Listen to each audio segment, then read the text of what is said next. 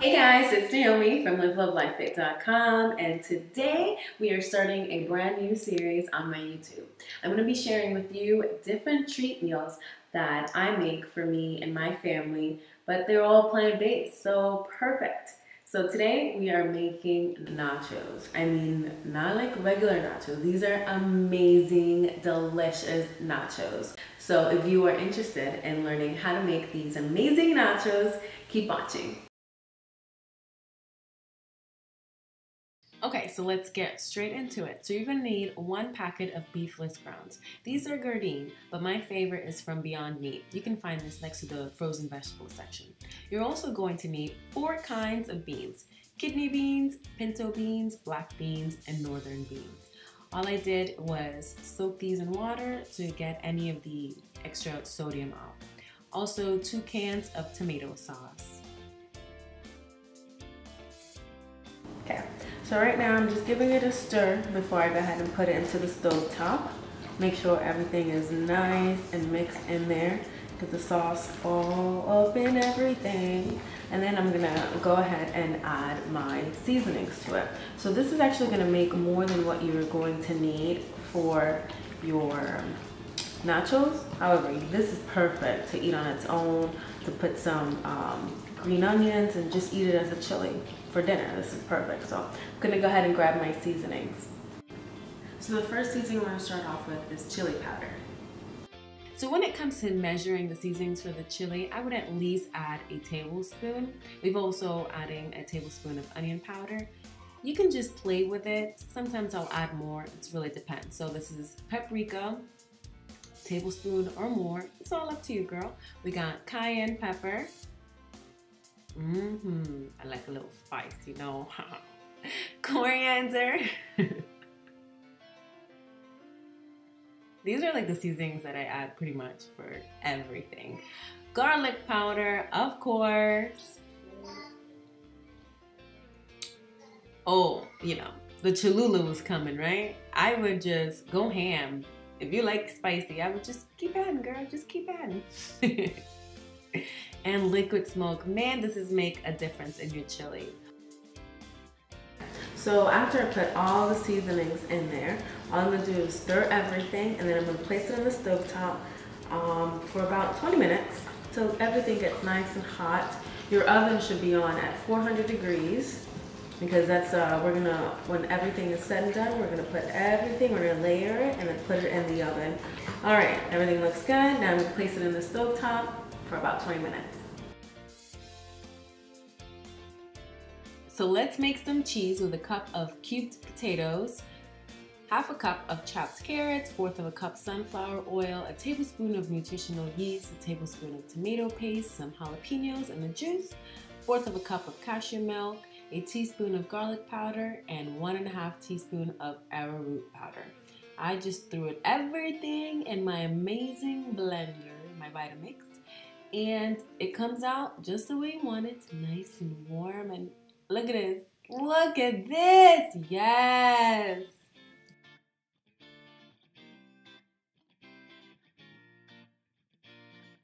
All right, so let's try this vegan nacho cheese.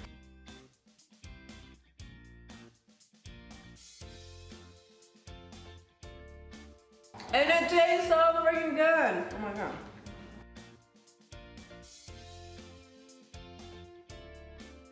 Yummy, time for some guacamole. So I peeled three avocados and chopped up some cilantro. I also chopped up some red onions, which is my favorite for guacamole, and one Roma tomato. We're also going to use the juice of a lime. Now, when it comes to my seasonings, I like to use garlic salt, chili lime, and paprika. You can find the chili lime at Trader Joe's.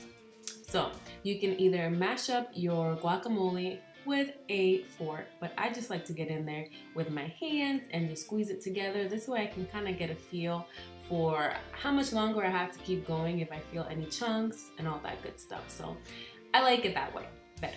I don't know. That's my preference. But do you, girl? Bam! Look at that guacamole. So now we're gonna add some juice. So let's go ahead and add the rest of the ingredients. Here I'm adding up the chopped onions, the cilantro, and the tomatoes. It is all up to you. It's your preference on how much you want to add in your guacamole. I like my guacamole pretty chunky with yummy ingredients in it, so that's why I add so much of it. But you can man, you can add less of whatever you like. It's all up to you. So when it comes to the seasonings, I would also add at least one and a half teaspoons of each. I think that's a good starting point. This way, if you decide that you want to add a little more garlic salt or whatever it is that you want to, you can. This is just a good starting point. Now for the fun parts when we get to put all of these yummy ingredients together to make something even more delicious. So you're going to need a dish to layer everything on. I have used a 33 by 23 and 5 centimeters deep dish before, and then this is my first time using this dish. This is just something that you bake cookies on. Um, these are my favorite tortilla chips. These are Old Florida gourmet tortilla chips, and I think they're made in Stuart. Woo go Stuart. Anyways, so you can use any types of chips that you like. These are my favorite. I think they just last with that crunchiness. So you want to layer the chili on top and then you just want to make sure there is no space left. Like you just want to load it up. So what I'm doing here is I'm just making sure that I get the bottom of this nice and covered with this chili, that no chips are left untouched with this amazing chili. All right, looks good to me. So now we're gonna start adding our toppings. So now that we've got the first layer of the chili done, we're gonna drizzle, look at this delicious nacho cheese. There's really no measurement here. I would just make sure to leave some for at the end if you want to add some extra on the top of your nachos. Then we're going to layer the sour cream. I made my own sour cream and I'll leave the link in the description box on how I made it, but you can also buy your own sour cream from Follow Your Heart.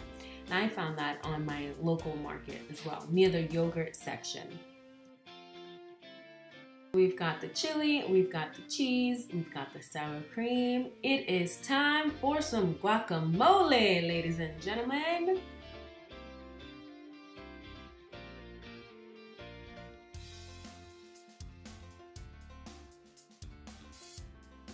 After layering the guacamole, I like to layer up some salsa. This is medium heat salsa. And then I also like to add some jalapenos because I like some spicy nachos. So next thing I'm gonna add is some green onions.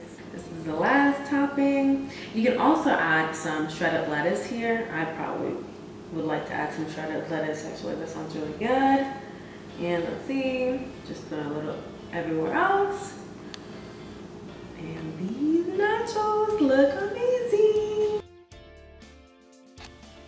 Alrighty guys, so that's how I make my amazing vegan and delicious and delicious nachos. I'm gonna leave everything below and all the links to how I made my sour cream and my nacho cheese, all the links to that. I hope you try this out and make sure to comment, like, and subscribe. Until next time, stay motivated, eat healthy, and stay active.